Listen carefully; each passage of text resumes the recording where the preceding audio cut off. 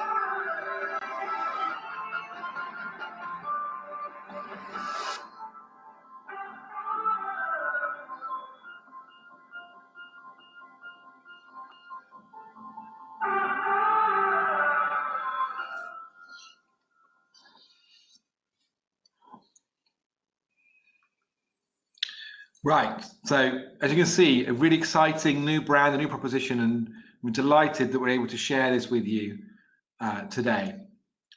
What I'm going to now do is really take you through a bit of thinking behind why we've made the changes we've made and what our new strategy is for the future of, uh, of your federation. Now, when I was uh, taken on as chief executive about a year ago uh, now, um, the board asked me to, uh, to take a look at where we were as an organization and where we were heading. And you have to start really from, from first principles. You know, what is our mission as an organization? What, what, what, what do we need to exist? You know, and what, what, what, what's our purpose? And what became very clear was that the, the reason that, that, that this federation exists and the reason we were created over 100 years ago um, was to be a voice for the cold chain. And actually, as someone who wasn't from a logistics background, actually explaining to the people uh, uh, outside of our industry what the cold chain actually is and why it matters is in itself a really important an important mission. And so the new brand is really primarily about making sure that we are explaining and understanding and, and unveiling the cold chain to, to, to, to the outside world. So our mission is to be a strong voice for the cold chain. I'm really working on key issues that matter. And there are three big um, issues that, uh, that, that I think that really sort of crystallize um, our kind of focus area. The first one is tackling food security. It's always been about food security. It's our number one issue and we forget and or we neglect the issues around make, keeping people's food safe at our peril. The second big issue, the big thematic um, that sort of influences our mission is the fact that we we sit underneath, we underpin, we facilitate a food industry that's incredibly dynamic. It always has been. We've been through so many changes, but particularly today, as we look to the near future, the, the, extent of the changing demands of consumers, changing pressures and expectations of the food chain um, mean that there are big changes afoot. And we underpin, we as our logistics providers provide the, the, the foundation for that. And crucially, and above all, the issues around climate change, the pressures that are coming our way as an industry um, because of the global pressure, literally global pressure, there is around our the way we consume uh, fossil fuels and the emissions that we put into the atmosphere will impact a lot of the regulatory framework that will, that will dominate our businesses for the next 20 years. Now, one of the things is when we changed obviously the brand from the Food Storage and Distribution Federation, we what we're absolutely clear about is we are not moving away from our commitment to working on food issues. So cold chain food remains uh, at the center of what we're about. Our membership is still 100% food logistics providers um, and the storage and distribution side. And those issues there that you see on screen remain areas of work for me as your representative in government interaction and working and providing solutions in those in those areas.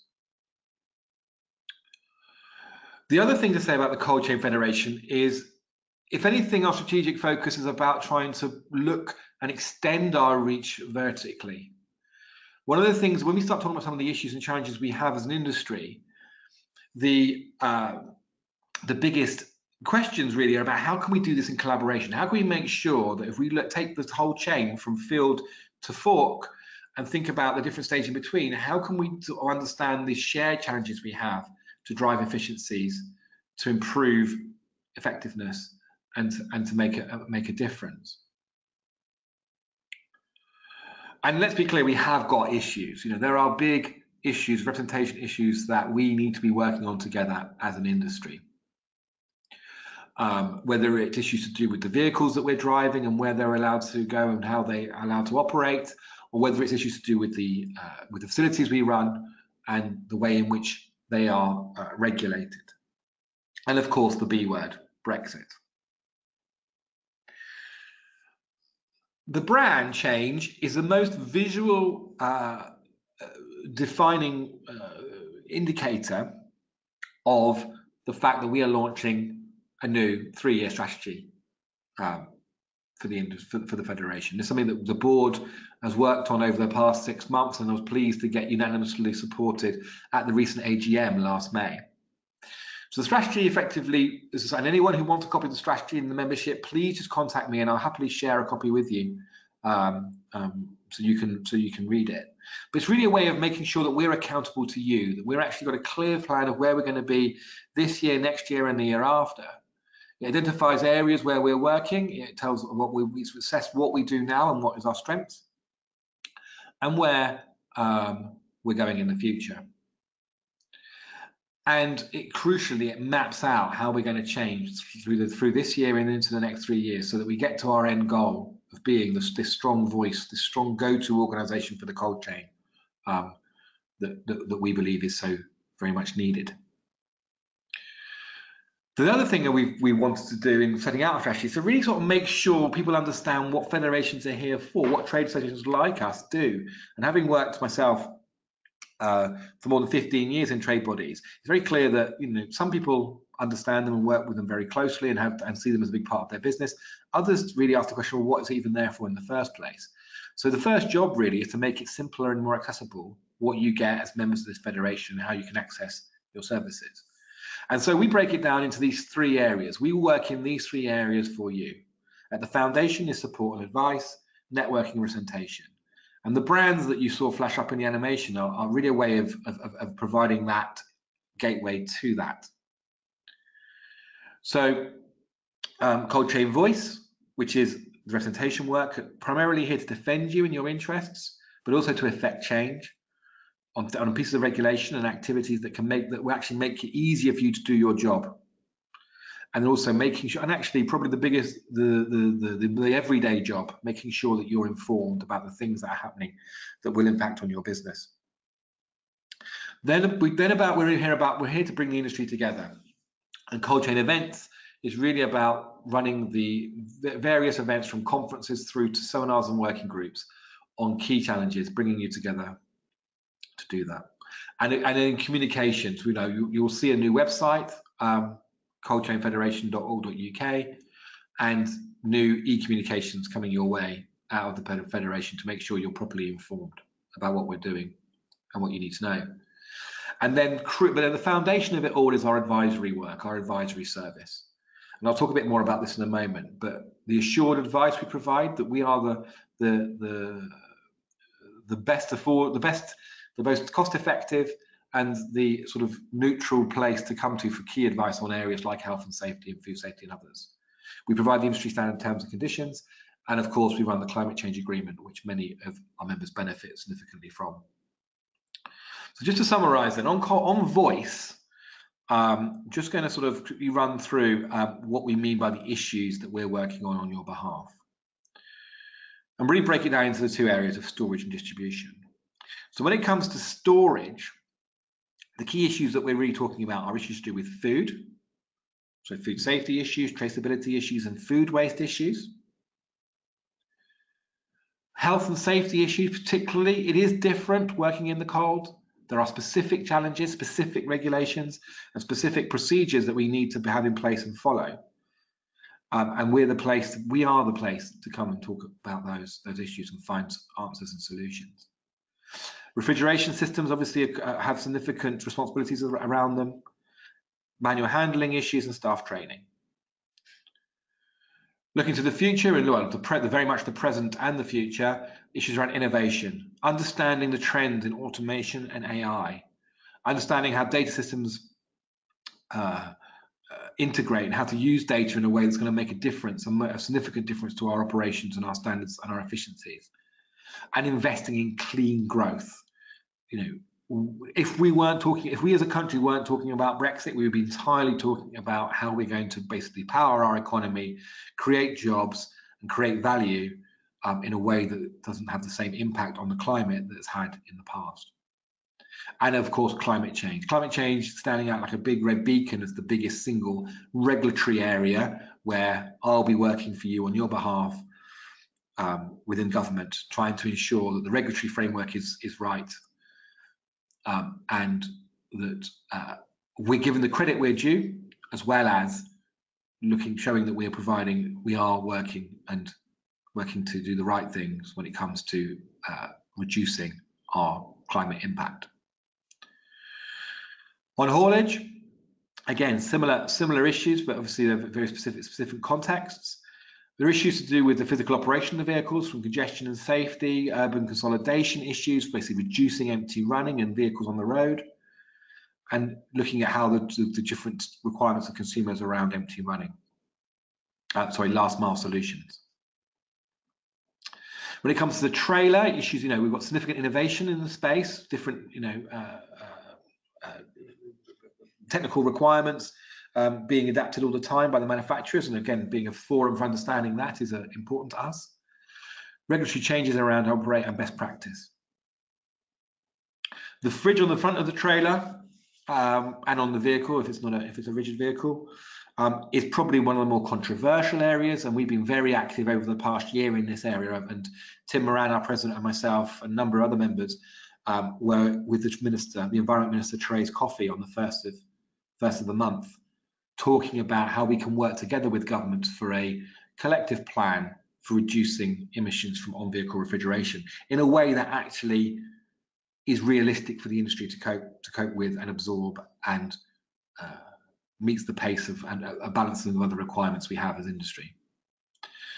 Obviously, growth of alternative technologies of refrigeration, specifically the issues around red diesel. You know, our biggest single uh, concern is the is some immediate removal of the qualification for red diesel for operators in using in their fridge where that's required of them. Obviously issues around noise. Obviously in the cabs and drivers, you know, we've got a big we've got an industry driver shortage, issues around skills and issues around understanding and knowledge of operating temperature controlled haulage. And obviously the vehicle, the engine on the vehicle itself with fuel costs and the long-term ambitions of government to see the decarbonisation of our transport generally and things like modal shift. So we've got a pretty busy agenda, but the crucial thing in all of this, the idea behind the Cold Chain Federation, is to absolutely focus in on those issues that are specifically about cold chain. Because there are other organizations out there that represent, represent the interests of logistics, they represent the interests of the food industry, but none of them are absolutely focused in on cold chain, and that's what we're here for, and that's what we're all, we will be about for the next three years and, and, and the long term.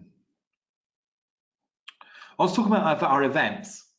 Um, so we've been uh, doing some work this year. We've already, some of you will have participated in some of our events that we've run this year. And we were looking to really refresh and reinvigorate the opportunities we have for bringing the industry together. And that includes um, big set piece events. Um, we had a cold storage conference in, in, March, which we were very pleased with, which was very well attended, with some great speakers and some great insights. A real place to come and come out of the business and take a step back and understand where the industry is heading, understand how other businesses are doing, and how we can work. Expert groups, you know, we're very clear. We, so we inherited a committee structure that we felt was you know important you know we, it has to be a case that what we decide and what we say is representing your interests as an industry but the idea of committees is increasingly difficult for people to justify the time to be involved with the expert group model is much more about bringing the bringing the questions and the discussion to you in more in uh, remote formats and um, and uh, really making sure that we have got those networks of expertise. And the three areas we're working with expert groups are on warehousing, on distribution, and on technical and safety issues. And if anyone's interested in issues around the expert groups, then please get in touch with us and we'll be circulating more information over the coming weeks. And then our boards. We have a management board and we have we are creating two new advisory boards. One for strategic uh, the strategic advisory board, which is an opportunity for every member, senior people from every member company to have a say at least once a year on your industry and where we're heading and our federa and your federation, and an emerging leaders board for the next for the generation of people coming who are going to be uh, running the running the running our industry in the future. Again, more details of those to come in the coming weeks. But the key thing that I want to put on your radar right now is the 12th of September when we're coming together at National Conference Centre in Birmingham to talk about the future of refrigerated transport. We've got a really exciting program of speakers and a really uh, important uh, topic given the political work we're doing right now on on-vehicle refrigeration and we're delighted to have the support of the companies that we have already and I'm sure there'll be plenty more. Now, just the final thing I wanted to uh, section of this presentation and this, this webinar is really about the advisory service, the, the practical ways that you as members can take advantage of your membership. And one of the things we want to do is to try and take what has potentially been a bit of a um, uh, of a hard to sort of pin down exactly what you get from a membership um, offer to make it much more specific and much more clear, and much more accessible for you, for you, whether you're a storage distribution member or whether you're an associate member of the federation. And they break down into five different product areas. One the cold chain legal, which I'll explain in a moment, cold chain compliance, Cold Chain Connect, of which today's webinar is the first, Cold Chain Energy, and Cold Chain Exchange. And there may well be other products that we bring on stream over the course of the next uh, couple of years. So starting with Cold Chain Legal. Cold Chain Legal is our terms and conditions offer. So as a member of the Federation in Storage Distribution, you can use the Cold Chain Federation's recommended uh, uh, conditions for storage, temperature controlled storage distribution. They've been updated and reissued as of last week, two weeks ago.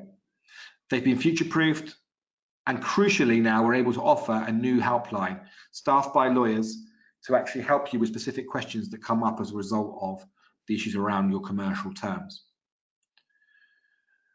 That's a new document. You will hopefully receive that in the post if you're a storage and distribution member, but if you need a, a, a e-copies are available from the office.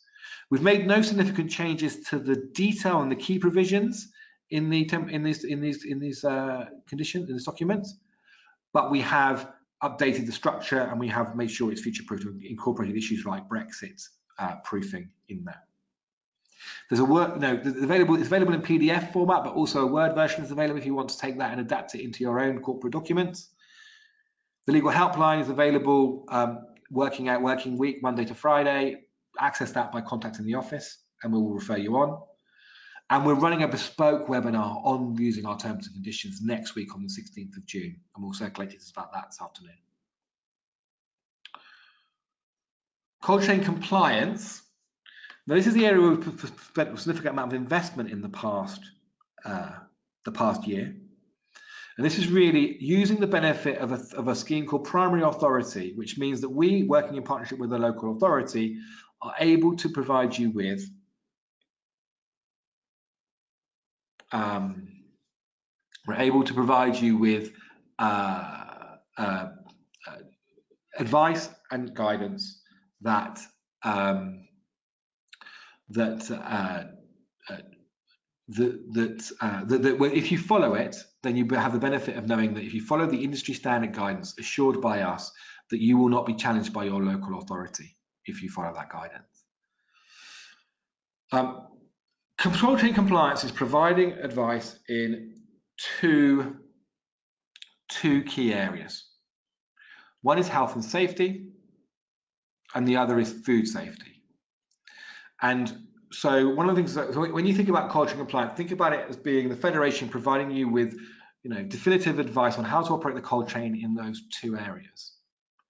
And the way it's structured is that we'll be publishing, and the first one in September, a health and a managing health and safety and cold storage distribution guide document, which will be a summary of all the key things you need to bear in mind when operating a cold store or a cold distribution business.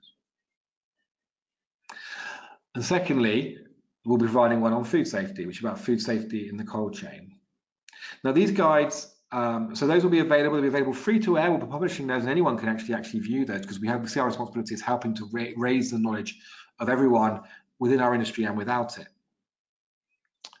Um, there will then be, alongside the main guides, there'll be some supporting detailed guides where we dive into specific topical areas um, particularly ammonia refrigeration systems, which is one that we work, we've been doing for some time, that we publish under the cold chain compliance brand soon, and food contamination from clandestine uh, travelers on the food safety side. But those are just two examples of, of what will be, I'm sure, a significant library of documents that will be coming on stream under cold chain compliance, all of which benefiting wherever possible from assurance from our primary authority.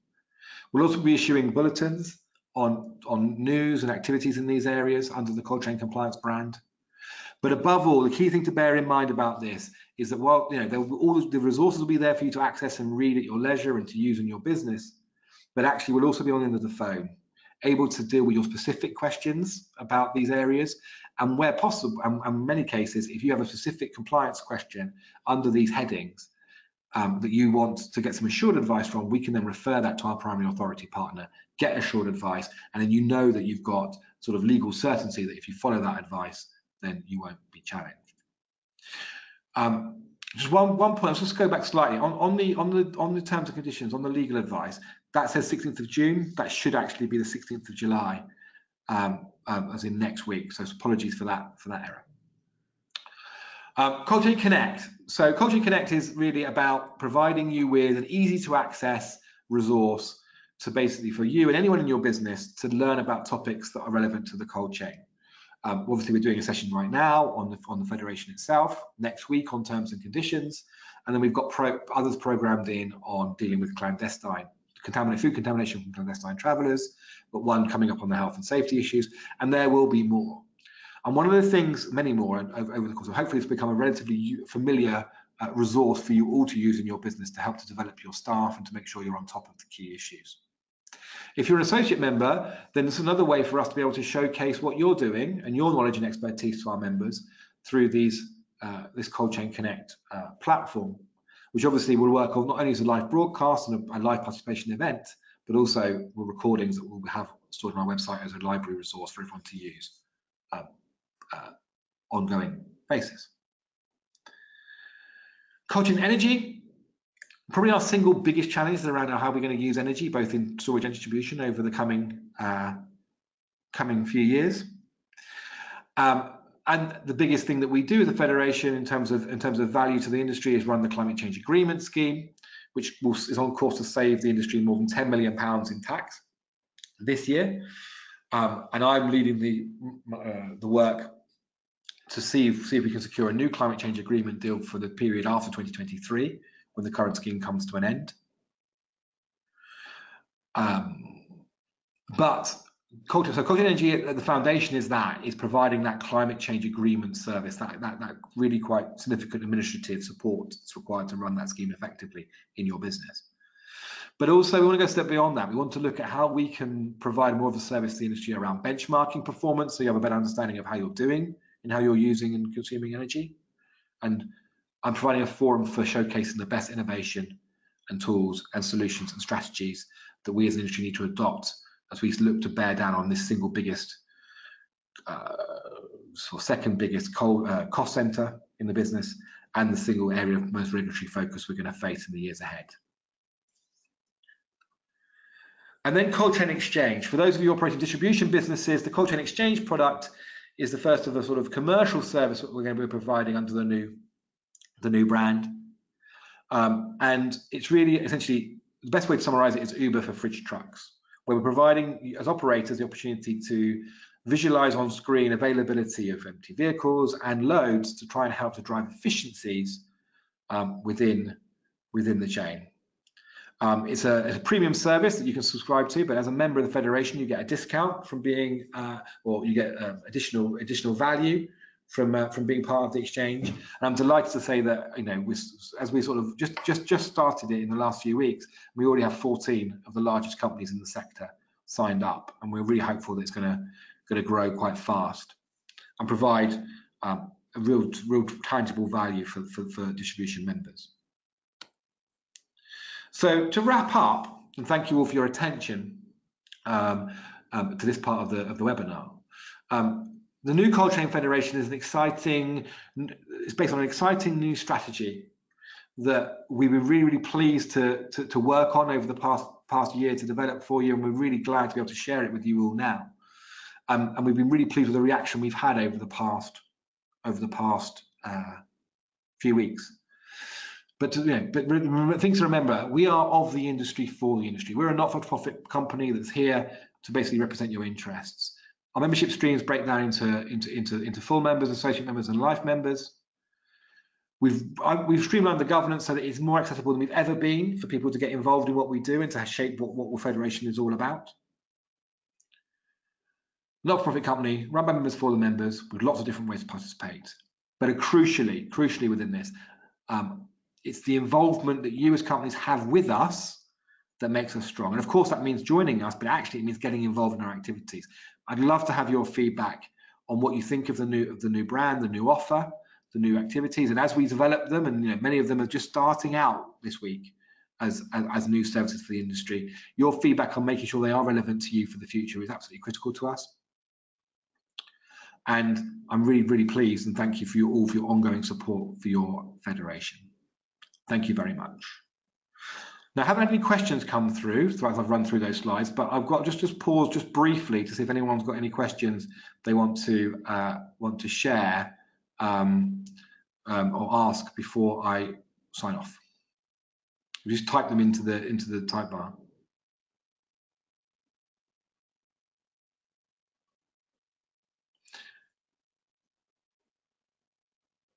Okay, Brilliant. Well, I think you know, I think it's useful to get your feedback on the on the webinar and how it went. And if you've got questions, just pick up the phone and give us a call at any point this afternoon or or any point in the next few weeks.